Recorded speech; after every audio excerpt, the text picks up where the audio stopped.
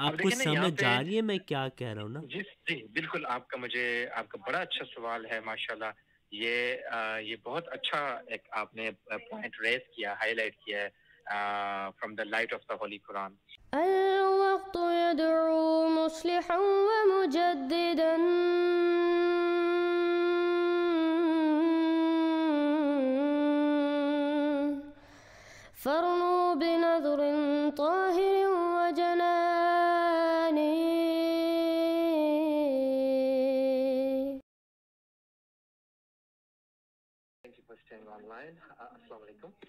Walaikum assalam, Adil Saib. How are you? I'm doing great. How are you? Alhamdulillah. So, are you a scholar? Uh, Alhamdulillah, I myself is uh, I'm qualified from Saudi Arabia, and uh, I spent four years in London, uh, England as well. Okay. And uh, basically, we are teaching uh, all over in US and Canada. And I myself taking classes because you know I believe in Canada and US people need a lot more attention. No, you're right? absolutely so, right. But you are teaching the Quran, which is a big responsibility. So I wanted to ask you a question regarding yeah. one of the verses of the Quran and just understand how you're teaching it to your youth. If you can uh, tell me what yeah. your translation is of Surah Al Ma'idah, verse 117. So Allah the Almighty says in the Quran, A'udhu Billahi Minash Shaitanir Rajim, Bismillahir Rahmanir Rahim.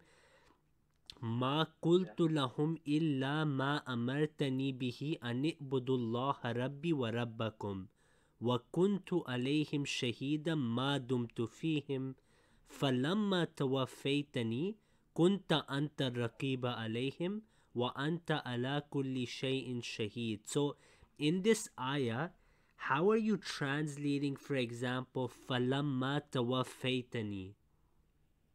Allah Azza wa Jal uh, has mentioned this here in. Uh, can I also explain this in Urdu? Yeah, sure. You can speak in Urdu if that's easier for you. Jazakallah, Jazakallah. So, इस आयत में आयत number 17 में अल्लाह वजल का इरशाद है कि अल्लाह फरमाते हैं मैंने इनसे कुछ नहीं कहा बजुज इसके जिसका तूने मुझे हुक्म दिया वो ये कि तुम अल्लाह की इबादत करो जो मेरा और तुम्हारा सबका परवरदिगार है। हाँ और जब तक मैं इनमें रहा जब तक मैं इनमें रहा इनके हालात की खबर रखता रहा फिर जब तूने मुझे दुनिया से उठा लिया तो वही इनका निगरान था और तू हर चीज़ से खबरदार है। सो so, हाँ जी तो आप देखें आपने जो तवाफ़ैतनी का तर्जमा भी किया है जलांदरी साहब का क्योंकि जलांदरी जो फ़तेह मोहम्मद जलांदरी साहब हैं ये दियोबंदी मसलक से ताल्लुक़ रखते हैं ठीक है? दियोबंदी हैं जी और जी इनके जी। ये शाह इसहाक साहब के भी स्टूडेंट रहे हैं तो इन्होंने तवाफ़ैतनी का जो तर्जमा किया वो ये है कि जब तूने मुझे उठा लिया लेकिन जो अरबी हम्म। में लफ्ज़ तवफ़ा है किस चीज़ को अल्लाह उठाता है जिसम को या रूह को? अल्लाह ताला रूह को उठाते हैं। रूह को उठाते हैं ना तो बात ये है भाई कि जो इस आयत में अल्लाह ताला फरमा रहा है कि हज़रत ईसा क़ियामत पे कहेंगे कि जब मैं इनमें था तो मैंने इनको सिर्फ़ तोहीद की तालीम दी। जब तूने मेरी रूह उठा ली यानी मुझे वफ़ात दे दी फिर तू ही जानता है कि क्या हुआ है। तो इस आयत में तो अल्लाह ताला वाज फरमा रहा है कि हज़रत ईसा की वफ़ात के बाद ईसाई गुमराह हुए हैं। लेकिन आपका तो अकीदा है कि हज़रत ईसा आसमानों पे जिस्म के साथ ज़िंदा हैं। जी।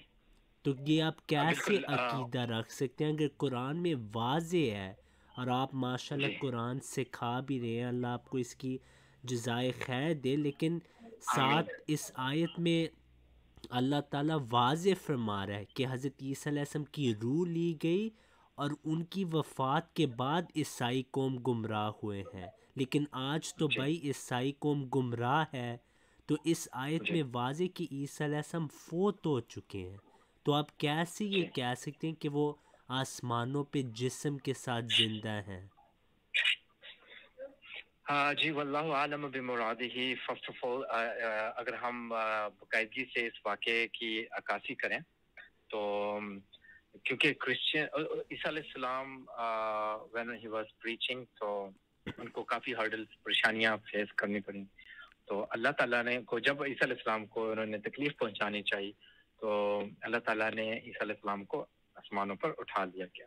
अब आपके मुताबिक इस आयत के अकॉर्डिंगली क्योंकि अल्लाह ताला जिसम को नहीं, रूह को उठाते हैं, क्योंकि जब इंसान दुनिया से वफात पा जाता है तो जैसा कि हमने अभी डिस्कस किया तो तो ये जब ये तो लेकिन ईसा इस्लाम अल्लाह के एक बरगुजीदा पैगंबर हो गुजरे हैं और आ, अभी आ, जो अकॉर्डिंग टू द हिस्ट्री और जो हम हमारे नॉलेज में जो चीज़ें हैं जो मेरी नाकिस इलम में है यही है कि अल्लाह ताला ने ईसा सलाम को जिसम समेत जो है रूह और जिसम समेत अल्लाह ताला ने आसमानों पे उठा लिया। तो तो आदिल भाई पहली बात ये कि आपने कहा है कि ईसा अलैहिस्सलाम को जिसम समेत आसमान पर उठाया गया लेकिन कुरान में इसका किधर भी ज़िक्र नहीं ठीक है? जो ये आए तभी हमने पढ़ी है इसमें लिखा है कि क़्यामत पे हज़रत ईसीम को इलम ही नहीं कि उनके बाद क्या हुआ। अब अगर हम फ़र्ज़ करें कि उन्हीं ने वापस आना है हज़रत ईसीम बनी इसराइल में जो थे उन्होंने वापस आना है फिर क़यामत पे उनको क्यों इलम नहीं कि उनकी कौम ने क्या किया? अगर वो वापस आएँगे उनको इलम होगा ना? तो क्यों नहीं इलम? पहली बात ये पहली बात है इस पर आप गौर करें। दूसरी बात ये है कि जो। आपने ये बात बताई है कि हज़रत ईसा के साथ बहुत जुल्म हुआ वगैरह वो हर नबी के साथ हुआ। नबी सल्लल्लाहु अलैहि वसल्लम ने जो ताइफ का वाक़ है ओहद का वाक़ है नबी सल्लल्लाहु अलैहि वसल्लम के साथ क्या जुल्म नहीं हुआ लेकिन अल्लाह ताला ने आप सल्लल्लाहु अलैहि वसल्लम को बचाया आपकी हिफाजत की। ये तो नहीं किया कि आपको अपनी मिशन से आसमान पे जिस्म के साथ उठा लिया लोगों के डर से। ऐसे अल्लाह ताला नहीं करता बल्कि अल्लाह ताला अपनी कुदरत को ज़ाहिर करता है और अपने अम्बिया की हिफाजत करता है। अब बात वहाँ की वहाँ है भाई कि कुरान में क्योंकि आप कुरान सिखा रहे हैं और ये बहुत बड़ी ज़िम्मेदारी है जो हर मुसलमान पे है और आप पे अब हक है कि आप लोगों को सही तालीम दें। कुरान में किधर भी नहीं लिखा कि हज़रत ईसम आसमानों पे जिसम के साथ हम्म। ज़िंदा है। कुरान में सिर्फ़ आप अलैसम की वफ़ात का ज़िक्र है कि आपकी वफ़ात के बाद ईसाई गुमराह हुए हैं। अब आप मुझे ये बताएँ क्या आज ईसाई गुमराह है या नहीं? बेशक ईसाई गुमराह है क्योंकि वो अहल किताब हैं और सिर्फ़ और सिर्फ़ आ, उनका अकीदा थोड़ा सा उनका अकीदा जो गलत है जिसकी वजह से वो दायरा इस्लाम से बाहर हैं। बिल्कुल तो इस आयत में लिखा है कि आप जो ईसाई हैं वो ईसा की वफात के बाद गुमराह हुए हैं। जी। तो फिर आप अलैसम की वफात हो चुकी है तब भी तो ईसाई गुमराह हुए हैं। हम्म, हाँ जी। आपको समझ आ रही है मैं क्या कह रहा हूँ ना? जी जी बिल्कुल आपका मुझे आपका बड़ा अच्छा सवाल है माशाल्लाह। ये आ, ये बहुत अच्छा एक आपने पॉइंट रेस किया हाईलाइट किया है। From the light of the holy Quran इसमें ना ये आपने माशाल्लाह अब इसमें हम यहाँ क्या करते हैं आपको जैसा शायद आपको ऐसा नहीं बताया हम लाहौर पाकिस्तान में मुकीम है। अच्छा। अब हमारे यहाँ आपको पता है दीन के लिए आ, जो है काफ़ी बड़े बड़े स्कॉलर्स भी हैं।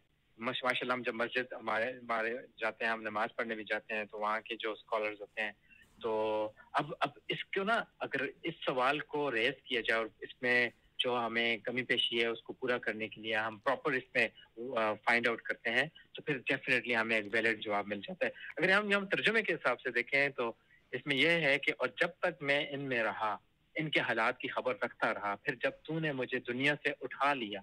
अब देखें यहाँ पे आ, ये भी तो नहीं मेंशन ना कि ईसा इस्लाम की वफात हुई है। नहीं भाई जो तवफ़ैतनी का लफ्ज़ है ना इसका मतलब यही होता है कि जब अल्लाह रूह को कब्ज़ करे जो कि वफ़ात पे या नींद पे जैसे अल्लाह ताला कुरान में फरमाता है अल्लाह या तवफ़ल अनफुसा ही न मोतिहा वल्लती लम तमुत फ़ी मनामिहा।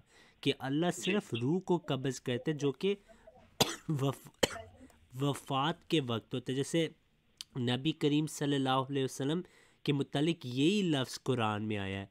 अल्लाह ताला फरमाता है औ न तवफ़ का कि या तो हम आपको वफ़ात दे दें।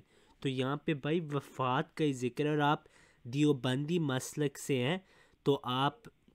अशरफ अली थानवी साहब का भी तर्जमा देख लें। सूरा आल इमरान आयत 55 में जब हज़रत ईसा का ज़िक्र है उन्होंने मुतवफ़ीका का यही तर्जमा किया कि मैं तुम्हें पूरी उम्र दूँगा, यानी वफ़ात दूँगा। तो ये वाज बात असल में जलंधरी साहब का अकीदा था कि ईसा हयात हैं। इस वजह से उन्होंने यहाँ पे गलत तर्जमा अफसोस से कर दिया है जबकि अल्लाह ताला ने वाज कुरान में फरमाया कि हज़रत ईसीम की वफ़ात हो चुकी है। उन्होंने कभी वापस नहीं आना।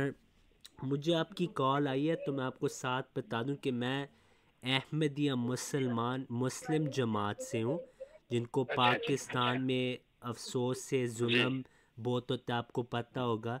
हमें वो कादियानी कहते हैं मिर्ज़ाई कहते हैं उलमा हमारे बारे गलत बातें फैलाते हैं लेकिन उम्मीद है कि आपको आज नज़र आए आया है कि मैंने सिर्फ़ आपसे कुरान से बात की है मैंने ना कोई अपनी बात की है या कुछ आपको गाली गलोच से बात की। हमारी अलहमदिल्ला अच्छी गुफ्तु हुई है। तो आपका शुक्रिया अदा करता हूँ। आपसे दुआ की भी दरख्वास्त करता हूँ कि अल्लाह ताला में सीधा रास्ता दिखाए और आपको भी तोफ़ीक दे कि आप कुरान की जो तालीम लोगों को दे रहे हैं वो आप सही तरीके से दें जो असल बात कुरान में वो ही हम आगे पेश करें। ना कि ऐसी बातें जो कि कुरान के बिल्कुल ख़िलाफ़ हैं। सही फरमाया आपने। बहुत अच्छा लगा आपकी ये बातें सुन के मुझे। और बेसिकली हमारा इस्लाम इस चीज़ को क्लियरली वाजे करता है कि हमें किसी पे उंगली उठाने का क्योंकि सबके मामला अल्लाह के साथ पे हैं। हाँ जी। सो हम किसी के अगेंस्ट या किसी पे हम हमें उंगली उठाने का कोई राइट नहीं है। अलबत् अच्छे अच्छाई और बुराई की तमीज हमें हमारे नबी वसल्लम ने भी दे दी है। और उनके हसना हमें स्टडी करना चाहिए। फिर सेकेंडली अल्लाह ताला ने कुरान पाक में हर चीज़ को वाजह किया हुआ है। तो अल्लाह हमें इसकी समझ अता फरमाए हम आमीन आमीन। जजाकल्लाह बहुत बहुत भाई। अल्लाह आपको जजाय खैर दे। अस्सलाम वालेकुम रहमतुल्लाहि व बरकातहू वालेकुम सलाम। वालेकुम